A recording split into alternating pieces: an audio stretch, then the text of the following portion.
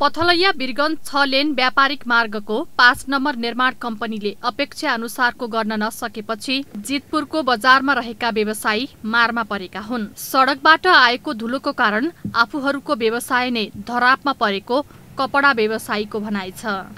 व्यवसाय सङ्कटमा परेपछि जितपुरमा व्यापार व्यवसाय गर्नेहरूले आन्दोलनको चेतावनी नै दिएको नगर उद्योग वाणिज्य सङ्घले जनाएको छ।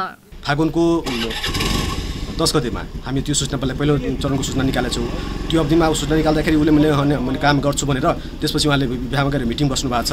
र त्यो पिरियडमा पनि उसले जुन कमिटमेन्ट गरेको छ त्यो पिरियडमा काम सक्नु भएन भने त्यसपछि हाम्रो दोस्रो चरणको हुन्छ।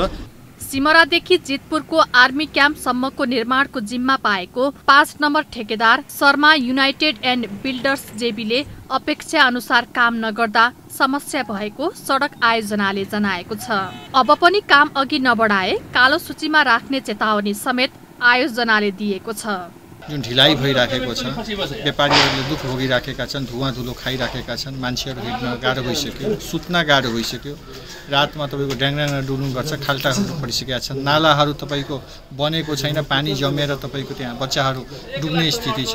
त्यसको लागि समाधानको लागि सम्बन्धित निकायलाई बसेर एउटा झचकाउने कामलाई को लागि हामीले यो आज छलफल राखेका थियौँ। पटक पटक लिखित र मौखिक सहमति भए पनि आयोजना कार्यालय र निर्माण व्यवसायीले कामलाई गति दिएका छैनन्। वैशाख आठ गतिसम्म व्यवसायीहरूलाई सहज हुने गरी कामको प्रगति देखाउने प्रतिबद्धता पूरा नभए चरणबद्ध रूपमा आन्दोलन गर्ने तयारी व्यवसायीको छ। ठेक्काको म्याद माघ मसान्तसम्म रहे पनि कोरोना कालमा काम गर्न समस्या भएको भनी आएको निवेदन अनुसार छ महिना समय थप गर्न सकिने सम्भावना रहेको छ।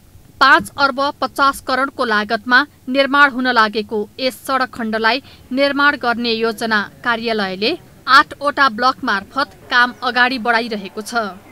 बाह्रबाट इन्दिप कोइरालाको रिपोर्ट।